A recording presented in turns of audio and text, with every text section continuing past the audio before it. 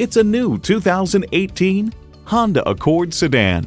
Honda's created some of the most admired vehicles on the planet. And with features like these, every drive is a pleasure.